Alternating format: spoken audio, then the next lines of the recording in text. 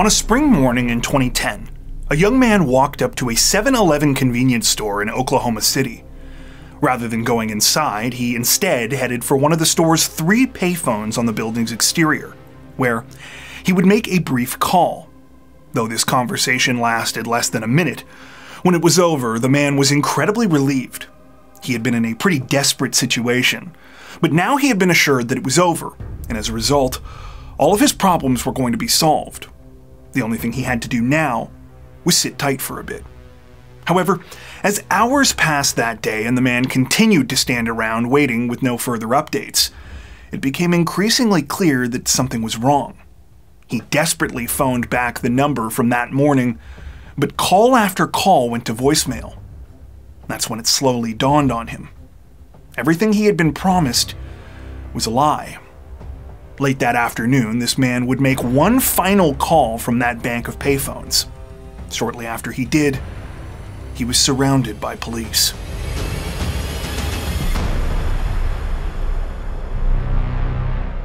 If there's one thing that everyone agreed about 50 year old Lewis Lewy Fryer, it's that he was the kind of guy who went all in on the things that mattered to him in life. He could give you a dissertation on anything related to sports, especially University of Oklahoma football. He took pride in his ability to tell a story, and he could spend hours giving you the ins and outs of why he preferred modified float tubes over boats when it came to bass fishing. Yes, you could say that Lewis was a man of many interests, but at the top of this list, there was always something that trumped everything else being a dad. Lewis's journey into fatherhood began in the early 1990s after he met a woman named Trisha Wheeler.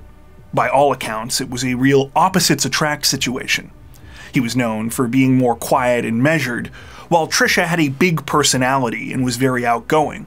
Still, the couple quickly fell in love and got married. By 1994, they had welcomed two children into the world a son named Keith and a daughter named Kaylee. They moved into a modest house in the city of Guthrie, located about 40 miles north of downtown Oklahoma City. For a while, the young family was incredibly happy. Lewis had a good job working for a high end picture framing business, where he was directly involved in designing the company's products. Trisha, meanwhile, was a stay at home mom for her two kids.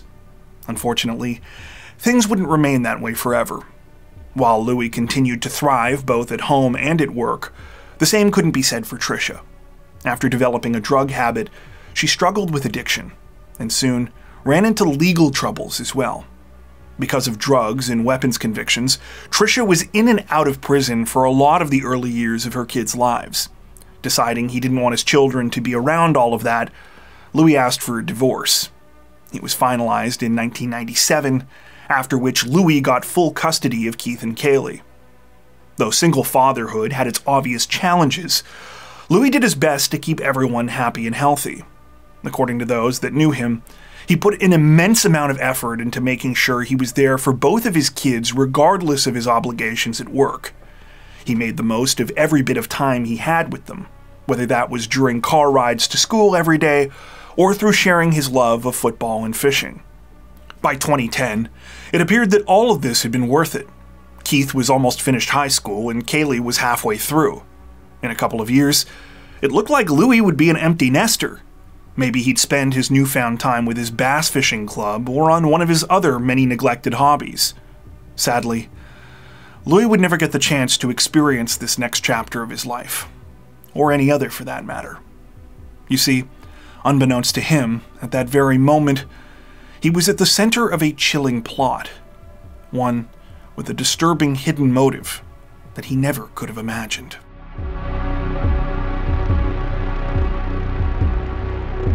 Nine one one. Uh, my dad's dead. Hey, where's this at? My house. There's blood everywhere. I can't go in there. What's your dad's name? Lewis Fryer. He didn't wake me up in the morning. His car's gone. Everything's gone. Is there blood? You said there's blood everywhere? Yes, there's blood all over the floor. I tried to wake him up, and he didn't wake up. I have him en route, okay? Yes. Gotta stay calm, okay? Uh, I've never seen a dead body before. The 911 call you just heard was placed at 7 o'clock in the morning on May 13th, 2010. It was made by Lewis Fryer's 15 year old daughter, Kaylee, who was completely frantic. Through tears, she explained that she had just stumbled across a horrifying scene in her father's bedroom. He was lying on the floor, unresponsive, and there was blood everywhere. She was worried that he might be dead. When officers from the Guthrie Police Department arrived at the scene, they found Kaylee hunched over and sobbing on the porch. She said that she was pretty sure her dad was the only other person inside, but since police didn't know what they were walking into, they entered the property with their weapons drawn and proceeded to do a detailed sweep of the house. It turned out that Kaylee was right. The only other person inside the residence was her dad, Lewis Fryer. The 15 year old's worst fears had also been correct. Tragically, the 50 year old father was dead. Lewis Fryer was found in the master bedroom lying face down on the floor next to the left side of his bed. His body was tangled in the sheets and comforter of the bedding, which were covering most of him with the exception of his upper back, head, and feet. The rest of the room was also in an obvious state of disarray. Based on Lewis's injuries and the blood evidence, there was no question that he had been the victim of a brutal attack. His body was surrounded by a pool of blood on the carpet, and there was more of it in various places around the room. The most significant of this evidence was the blood on the exposed mattress of the bed, which suggested that Lewis might have been attacked in his sleep. The actual cause of Lewis's death was multiple stab wounds to his back and both sides of his neck. It would later be determined that the injuries to his neck in particular would have been quickly fatal, which also explained the amount of blood at the scene. Injuries to the 50 year old's hands heartbreakingly suggested that he had fought for his life. Based on the severity of the crime, Guthrie police contacted the Oklahoma State Bureau of Investigation for assistance with the case. At the same time, investigators turned their attention to the only potential witness they had so far Kaylee Fryer. Because of how understandably distraught she was, after finding the 15 year old at the crime scene, police had temporarily taken her to one of their cruisers to get her away from the house. Due to her age and the trauma she had just experienced, detectives tried to limit their questions, though they did ask her if she could tell them anything she could remember about the lead up to the crime. Kaylee said that as far as she was aware, she really hadn't seen or heard much. The previous night, she and her dad had watched a movie together, and afterwards, they had both gone to bed at around 10:30 p.m. From that point on, Kaylee said she had been fast asleep in fact, when she woke up on her own just before 7 a.m. that morning, it was the first sign that something was wrong. Her dad usually woke her up for school, but that morning the house was eerily quiet. When she had gone looking for him, she had encountered the disturbing crime scene and called 911.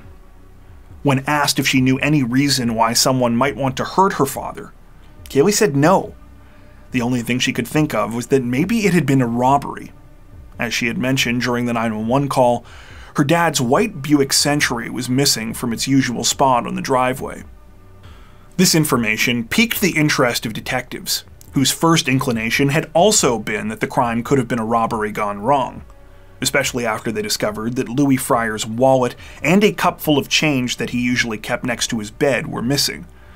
They theorized that perhaps the perpetrator had broken in and had been in the process of stealing several of the 50 year old's valuables when he woke up. A struggle ensued, during which Lewis was killed. A search of the rest of the house initially didn't seem to support or disprove this theory one way or the other. There were no signs of forced entry anywhere at the residence, though one window was found slightly open and could have conceivably been used to get inside. The only thing investigators were confident of was that the killer had escaped out the back door after the murder. This was because of blood smears which were found exclusively on the inside of the back door. However, detectives' thoughts about the case started to shift when they made another discovery in the kitchen. A single knife was missing from a butcher block that was sitting on the counter. To them, this seemed inconsistent with a robbery gone wrong. It now looked like whoever had done this had deliberately armed themselves before heading into Lewis's bedroom. Perhaps their intent had been to kill him all along. If that were the case, though, the question became who would have done something like this? And what was their motive? Investigators thought they might have their answer when they learned that Lewis had a second child, one who was suspiciously absent from the house that morning.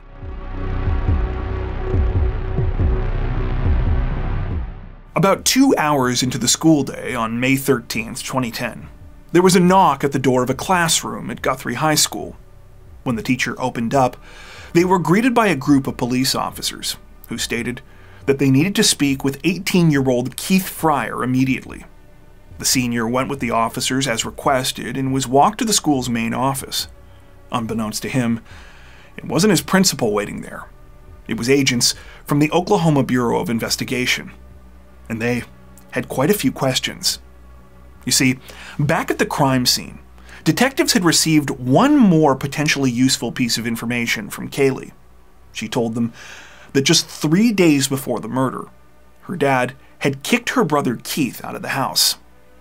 Upon being informed of the awful tragedy that had taken place, Keith instantly became emotional he threw a chair, yelled, and briefly stormed out of the office, accusing the OSBI agents of lying to him. However, he eventually calmed down enough to the point where authorities were able to ask him some questions. First and foremost, what had happened three days earlier between him and his father? Keith stated that the whole thing had been about a fight at school, something that he had had problems with in the past. This time, though, the consequences were more severe. His dad had a rule. If he got into trouble for fighting once he turned 18, he would have to find another place to live. And that's exactly what had happened. For the past couple of days, Keith had been staying with friends. While the 18 year old admitted that tempers flared at the time, he claimed he hadn't been holding a grudge against his father, certainly not the kind that would have led him to do something like this. In fact, Keith said that being kicked out was more of a tough love thing than any sort of serious feud between them. He knew this because literally the day that he left the house, his dad apparently checked up on him through one of his best friends. Lewis had lunch with the friend, during which he apparently admitted he was going to let Keith come home as soon as he showed that he had smartened up. Tragically, Keith said he and his dad were on the verge of patching things up. But now, they would never get that chance. Police weren't simply going to take Keith at his word, so they asked him if he could provide them with an alibi for the previous 24 hours. He gave them the information of some friends who he said could vouch for his whereabouts specifically during the time frame when the murder took place. Authorities immediately followed up on this, and it seemed that Keith's alibi checked out. With Keith now looking more like a tragic victim of circumstance rather than a serious suspect, Investigators began asking him similar questions to the ones that they had asked his sister. Was there anyone that he could think of that might want to hurt his dad? Or was there any other motive behind the crime that they might be missing? Much like Kaylee, the 18 year old said that there wasn't really anything like that that he was aware of. As far as he knew, his father didn't have any enemies. However, Keith did tip authorities off to something potentially interesting. He mentioned his parents' divorce as well as the fact that his mother Tricia had been in and out of prison over the years. By this point, detectives had already been trying to reach Tricia Wheeler, especially because she was now the legal guardian of her 15 year old daughter, and they needed her present before they could ask Kaylee any more questions. However, the revelation about Tricia's criminal history added a new potential vector to the case. Could she have somehow been involved? Though multiple calls to Tricia initially went unanswered, she eventually showed up at the police station in Guthrie on her own out of the blue. She said that her phone had been dead, but that luckily she had only been about an hour's drive away in Oklahoma City. She stated that she came right over as soon as she heard about what had happened. After agreeing to undergo questioning, Tricia denied any involvement in what had happened. She said that yes, her and Lewis had gone through a divorce, but that was more than a decade ago at this point. She stated that she never would have hurt the father of her children, nor did she have any reason to. Detectives asked Tricia about the custody situation between her and Lewis, probing to see if this was a potential motive. However, she claimed that if anything, her ex husband was more generous with her than he needed to be. Despite being granted full custody, Lewis let Tricia see the kids far more than what was legally ordered, especially as they had gotten older. A lot of times, Keith and Kaylee would spend the weekends with her. It wasn't every weekend, but it was enough that she was a constant presence in their lives. Detectives weren't sure what to think, but Tricia provided an alibi, which they began looking into. In the meantime, they were able to ask Kaylee some more questions now that her mom could sit in with her. Investigators asked Kaylee if she could provide them with the names of any other people who might have had access to her family's house. Was there anyone else that had a key, or someone who might have been a frequent visitor? She told police that no one like that came to mind. Her dad didn't normally like to have people over at the house. The interview went on like this for a while, though unfortunately, it didn't appear that Kaylee had much more that she could provide. Investigators were further stumped when they received confirmation that Tricia Wheeler's alibi had checked out as well. It looked like they were back to square one. Luckily for investigators, the situation wouldn't stay that way for long. As it turned out, one small tip was about to snowball into a series of startling revelations.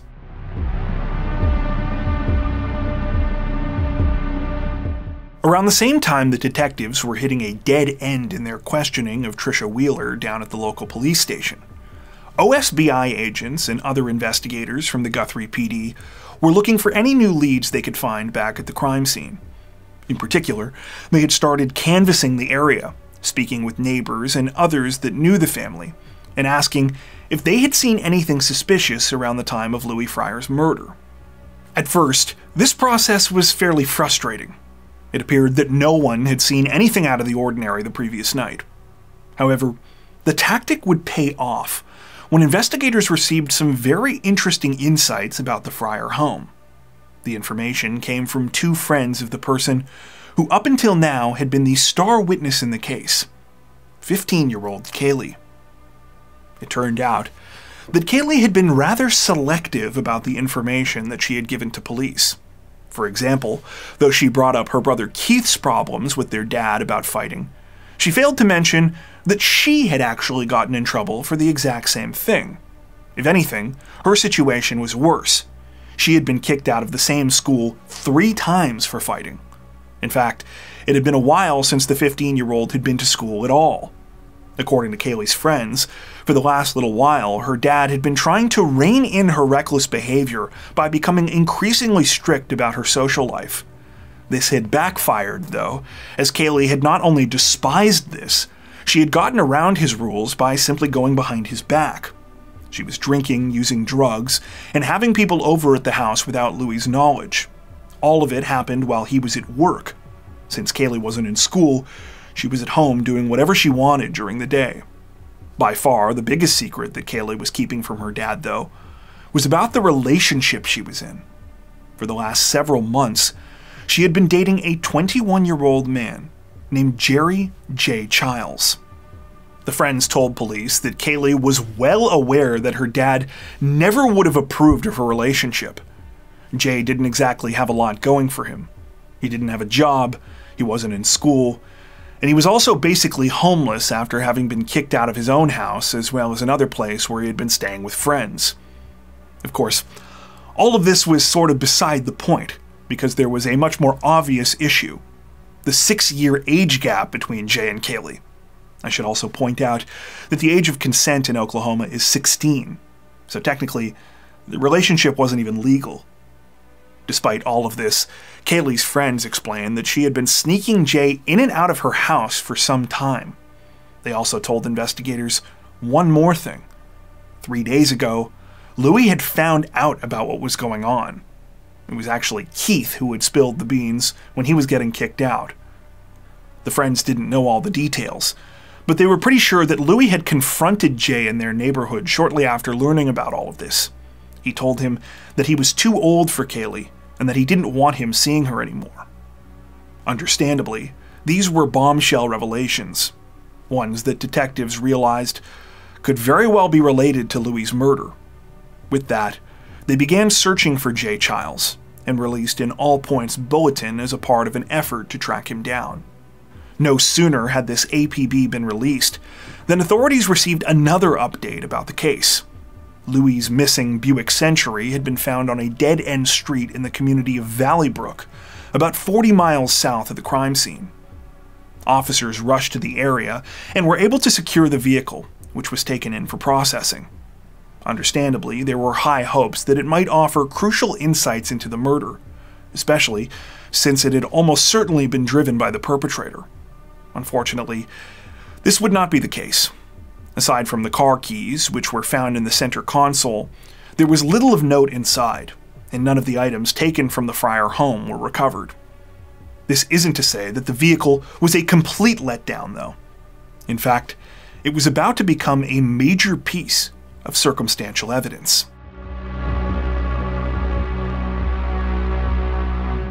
Late in the afternoon on May 13, 2010, Guthrie police received a call from a young woman named Sarah Kester. She said that she had information concerning the whereabouts of her friend, Jay Childs. Jay had just called her crying and begging for a ride, saying that he was stranded in Oklahoma City. Specifically, he was at the Crossroads Mall, less than a mile away from the place where Lewis Fryer's abandoned Buick had been found. Minutes later, at around 5 p.m., Jay was surrounded by police in the parking lot of the mall and agreed to come in for questioning. After sitting down in an interview room, detectives confronted Jay about what they knew so far. He vehemently denied having anything to do with Lewis's murder and said that his proximity to the car was a complete coincidence. He claimed that the real reason he had been stranded was that he had been hanging out with friends and that they had kicked him out of their vehicle. Understandably, investigators had a hard time believing this and began pressing Jay for further details. When they did, he quickly changed his story. Jay now admitted that he had been secretly staying at the Fryer house for the past few nights. Kaylee had been letting him in after her dad went to sleep, and he had been sneaking out before Lewis woke up. He claimed that it was all going fine until they had been caught. Jay stated that just like usual, Kaylee had let him in the previous evening, and they had made their way to her bedroom. They must have made too much noise or something, he said, because not long after, they heard footsteps coming down the hallway. Seconds later, he said Lewis had burst inside, and after realizing what was going on, had flown into a rage. Jay said that he ran for it, but before he could make it out of the house, Lewis had cornered him with a golf club in the kitchen. That's when he had grabbed a knife from the butcher's block and fought back. He didn't want to hurt Lewis, he said. It was self defense. Immediately, detectives knew that this story couldn't be true. For starters, the blood evidence didn't show any sign of a struggle anywhere other than Lewis's bedroom. On top of this, the only golf clubs in the house were in Lewis's bedroom closet, the same closet that Lewis's feet were blocking where he had fallen after being stabbed to death. There was just no way he could have used one of these clubs during the struggle. When pressed on these inconsistencies, Jay changed his story again. He now admitted that he had gone into the Fryer house that night with the intention of robbing Lewis. However, he still claimed that the killing had been an accident. While grabbing valuables from the 50 year old's bedroom, Jay said he woke up he said he stabbed Lewis to death in a panic. While detectives felt that Jay was getting closer to telling them what had really happened, there was still one thing that didn't make sense. If the point was just to rob Lewis, why had Jay grabbed a knife from the kitchen before going into his bedroom? Seemingly having no clear answer for this, and realizing that he wasn't going to be able to lie his way out of the situation, Jay finally conceded. He said that he was ready to tell the truth. What he told investigators next was nothing short of horrifying. Jay explained that for the last several weeks, Kaylee had been trying to convince him to murder her father. She told him that she couldn't live under his rules anymore, and she was sick of him trying to control her life. She wanted to live with her mom, who she said would let her do what she wanted. At first, Jay said he told Kaylee there was no way he was going to do that. Especially since when he asked for specifics about why her home life was so unbearable, all she could come up with was that her dad was mean and that he forced her to do laundry and chores. However, Jay said the situation changed a couple of days ago when Kaylee gave him some completely unexpected news. She told him that she was pregnant. She also said that there was no way her dad was ever going to let them be together or keep the baby. If they wanted to be a family, their only hope was moving in with her mom, and the only way that was going to happen was if Lewis was out of the picture. With everything laid out like this, Jay said he finally relented, and when Keith got kicked out of the house temporarily, he explained that Kaylee saw a perfect opportunity to carry out their plan without having to worry about potential witnesses. At around 3 a.m. that morning, Jay stated that he snuck in through the back door of the Fryer home, which Kaylee had left unlocked for him. He then grabbed a kitchen knife from the butcher block where she had shown him and headed down the hall towards Lewis's room. Jay explained that even after making his way inside, he almost didn't go through with the murder. At one point, he actually turned around and started walking away, but he eventually convinced himself to go back. He stood at the foot of Lewis's bed, knife in hand, trying to work up the nerve. In the end, it was panic that had motivated him to act. He saw Lewis's arm move, and thinking he was awake, Jay said he just started swinging the blade. He stated that he and Lewis had struggled, but the surprise of the attack had given him the edge. Lewis was too badly hurt to fight back and had fallen over onto the floor. His last words were help me. After Lewis was dead, Jay said that he grabbed his wallet, car keys, and the cup of change from his bedside table and ran out the back door, leaving behind the bloodstains. He took Lewis's car from the driveway and started heading towards Oklahoma City, throwing the murder weapon and the 50 year old's wallet out the window on the way. He dumped the vehicle in Valley Brook, where it had later been found. Just before 7 a.m., Jay said that he had walked over to a 7 Eleven convenience store near the Crossroads Mall. He called Kaylee from a payphone, telling her that he had gotten rid of all the evidence. One minute later, Kaylee had called 911 pretending she had just stumbled across the crime scene. Jay said that for the next few hours after that, he had waited for Kaylee and her mom to come and pick him up. He thought that they were going to start their new life together, but they never came. Needless to say, detectives were stunned by Jay's confession. He was arrested immediately afterwards. Kaylee was taken into custody a short time later. Both of them were charged with first degree murder. Understandably, no one wanted to believe that Kaylee could be responsible for such a heinous crime, particularly those closest to her. Investigators were having similar reservations. Given how much he had lied, could they really believe what Jay Childs was telling them? As they continued to unearth new evidence, though, it increasingly began to back up what the 21 year old had claimed. For starters, there were Kaylee's phone records, which not only verified the timeline exactly as Jay had laid it out, but contradicted the 15 year old's original version of events. Despite what she had told police about sleeping through the night, the records showed that Kaylee had checked her voicemail and accessed the internet around 3:30 a.m., right after the murder had taken place. Next, there was the additional forensic examination on Lewis's body, which suggested that it had been moved at least slightly after his death. The only person who would have been in the house at that point was Kaylee. Again, she had originally claimed she never went all the way into her father's bedroom. Perhaps the most damning evidence suggesting Kaylee was the mastermind, though, came from her MySpace page as well as a journal found in her bedroom. In both places, investigators found disturbing writings that expressed how much she hated her father. Her MySpace profile read in part, quote, The story of my life is complicated. My mom, she's the most important thing in my life. If anyone knows me real well, they'd know that I'd do anything for her.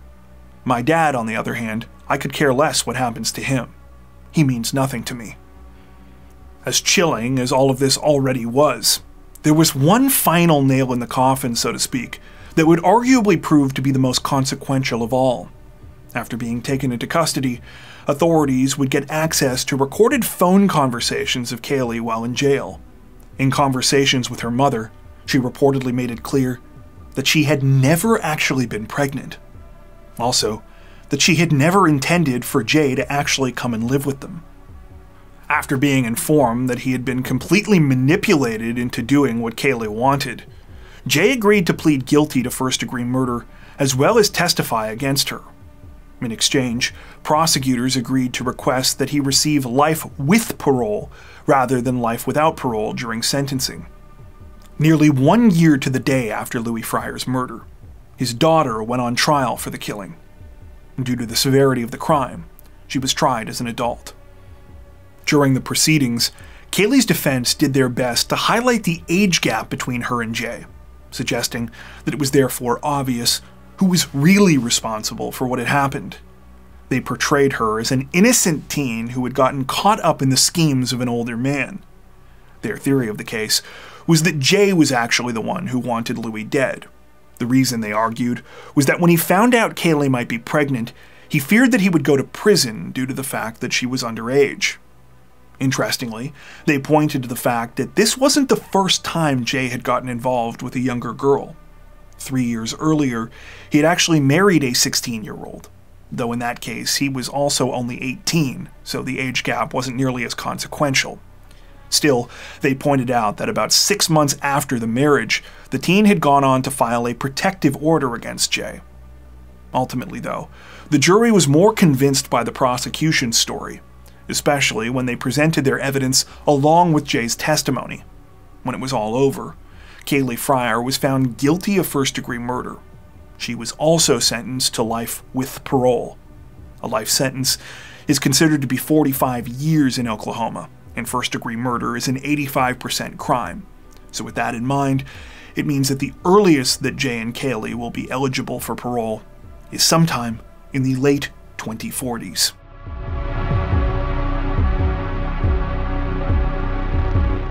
Perhaps unsurprisingly, a lot of the stuff that we came across while researching this story focused on who was more responsible for Lewis Fryer's murder, Kaylee or Jay. I think you could make a convincing case for either one, and I'm interested to hear all of your thoughts in the comments below. But I ultimately think it's sort of beside the point. Lewis Fryer was a beloved father, son, friend, and so much more. And at the end of the day, his life was stolen from him over basically nothing. What I find particularly haunting is the thought that in his final moments, when he was calling out for help in the dark, he had no idea that one of the two people he loved most in the world was responsible for what was happening to him. While I think that Kaylee and Jay both deserve to be where they are right now, at the same time, I think it's worth pointing out that there's a second layer of tragedy to this whole situation and that's that two young people also threw their lives away in the process of committing this heinous crime. All that being said, I think it's important to try and find some semblance of redemption in these stories wherever possible. And in this case, I think that's in the undeniable love that Lewis showed for both of his children. As Keith said in an interview that we came across, he thinks that his dad would have forgiven Kaylee despite what she did. And ultimately, that's how he wants him to be remembered. Before we wrap up, we'd like to take a second to give a huge shout out to everyone who has made it this far into the video. Seriously, thank you so much for watching. If you found today's upload interesting and informative, we'd be honored if you'd consider liking and subscribing, as well as hitting the notification bell and selecting all notifications to stay up to date with our latest releases. If you're looking for additional ways to help support the channel, we'd love to have you join us over on Patreon. Patrons get ad free and early access to all of our content, as well as four additional stories per week for each of our Crimes of the Week and Crimes of the Week International videos. You can learn more at patreon.com slash crimezone, where you'll also find some of the fine folks whose names are currently on screen. All that being said, we understand that not everyone has the means to support financially, and that's totally okay. We appreciate every like, sub, share, and comment that you send our way. Once again, Thanks so much, everyone, and take care.